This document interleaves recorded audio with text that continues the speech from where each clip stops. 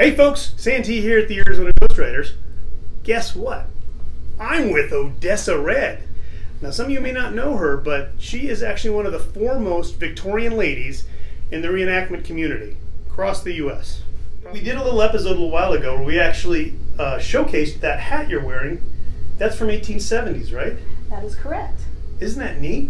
I mean, she's actually wearing a hat from 1870s. That's that's neat. It kind of gives me the goosebumps. It's an interesting feeling wearing something that a lady wore, you know, 100 years ago or 80 years ago, whatever um, decade it was, and knowing that she was walking around and doing things that she would have done in her average, everyday, ordinary life, like I'm doing too. So it's kind and of. And we know she experience. wasn't buried in it.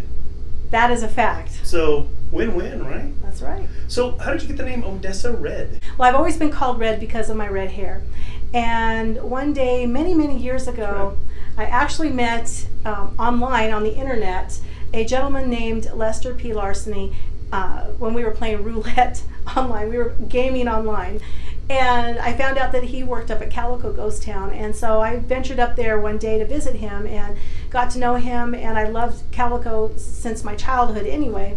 And he told me one day, he said, he said, Reby, he goes, you need to start reenacting. And I said, well, I don't have any clothes. And um, that came later. And he said, well, you need a good name. And he kind of did his chin and he looked around and, and he looked at the sign for the Odessa Railroad. And, oh. Yes. But he looked at me and he said, Odessa. Odessa Red. That has a good ring to it. So, so I've been Odessa Red since then. So you got interested through that experience. You got interested in Old West. Were you always interested in the Old West, or? Um, actually, I got interested in the reenacting part and the living history part once I met Lester, but my love for the West and mining camps and old buildings and history uh, way back because my family actually has um, old gold mines in the mountains of New Mexico. So, and then actually in Oro Grande as well. So we would go up to New Mexico and the town that's up there, and I won't say the name for obvious reasons, but well, I'm not gonna go because we got claim jumpers that want to come in there and jump our claim. So I'm not saying where it's can, at. Can you just whisper it or? Never heard of it. Okay. Anyway, so we would go up there and we would prospect in our in the gulch up there, and it's a really neat town. It has um, the homestead where we stayed at. Right next door was the Assay General Store post office and then there was also the log cabin schoolhouse as well as the, the town hall and, and the schoolhouse at a later date. And there is actually an 1880s cemetery there. So at a very young wow. age, it was, it's, it's yeah. amazing. What is it about the Old West that you like? Well, Santee, um, one of the things that I really like about the Old West is that we all came from somewhere.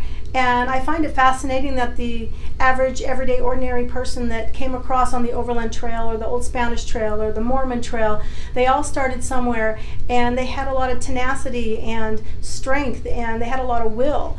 And it fascinates me that they actually made it across and then they settled along the way until they ended up in California or wherever their destination was. And they are the ones that established the towns as they are today. They are the very root of these amazing big cities, even like Los Angeles or San Francisco, or many many cities in between. You know that's fascinating because I do. Uh, I know you do some education. You'll tell the folks about that, but I do a little education too. And one of the things that uh, I've been asked is, well, why was it so important to have the Old West? And I tell people all the time, hey, listen, you know, you're talking about a, a country that just came through a civil war. There were thousands of people that didn't have homes to go to anymore. Right. And there was opportunity out west. Now they were going to have hardships, but they did it. They had the tenacity, like you said. Right. They had the guts to, to, to buy a wagon with their remaining money and move all of their stuff through Indian infested land and right. never knowing what's going to happen or what they're going to do or well through sickness, amazing. through illness you know, many didn't make it, but the ones that did, they are the ones that established these towns and, and created a place that we call home today. Yeah.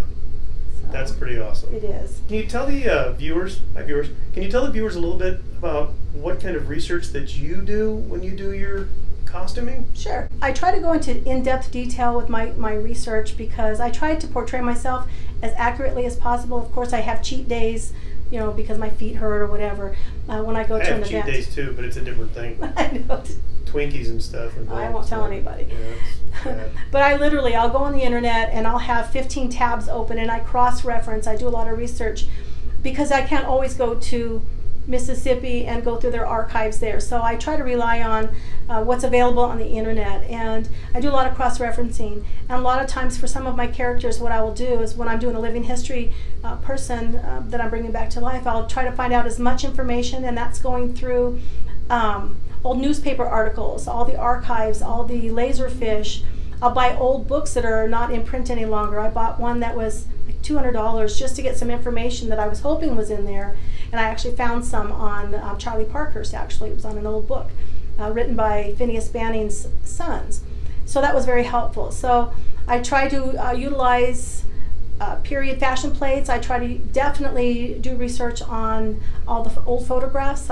And so getting all the um, accoutrements, hats, pins. Hair is interesting to me because I always try to, uh, you know, Rita, you know, Rita, my wife is, uh, she's done a little bit of this. She's not as into it as you are, but the problem always comes up what did they do with their hair?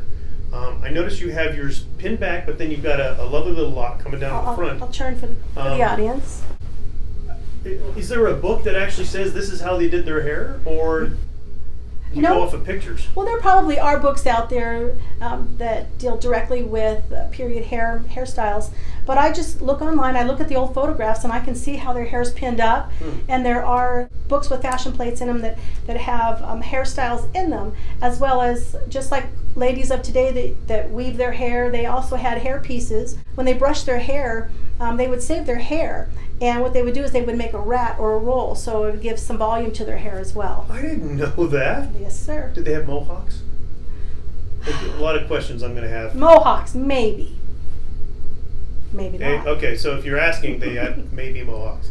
They kept their hair. I never say never because as soon as you say never, you'll find a picture. spikes. That's right. You'll find a picture with somebody that has something that you said never existed. So never say never. Right.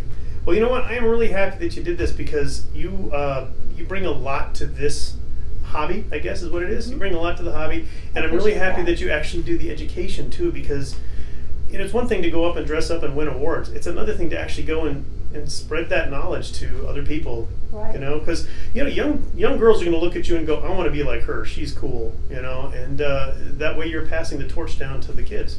I try to inspire whenever I can. Of course, it's always fun to participate with my fellow reenactors and um, go to the different events where we have the gunfight competitions and the living history as well as costume contests. That's always a lot of fun. But I find greater satisfaction when I, I, I go to schools.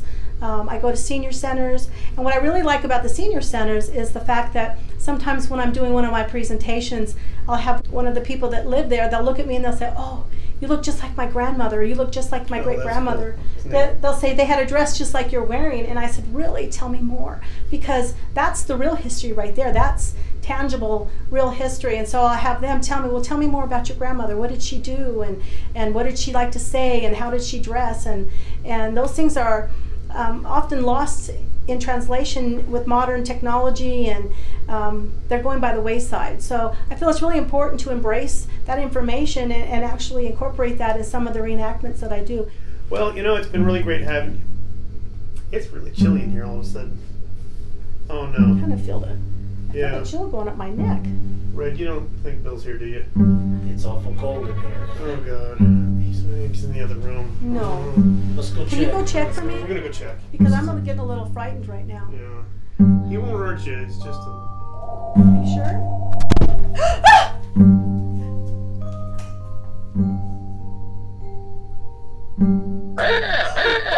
Bill!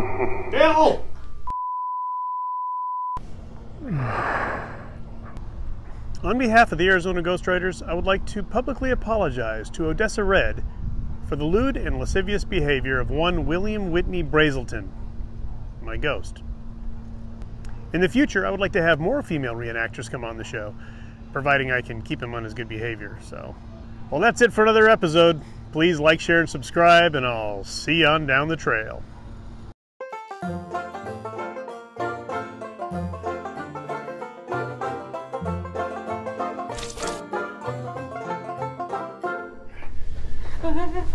Do you have like a, a hand button that you just like put on and off? just live? This is a low budget.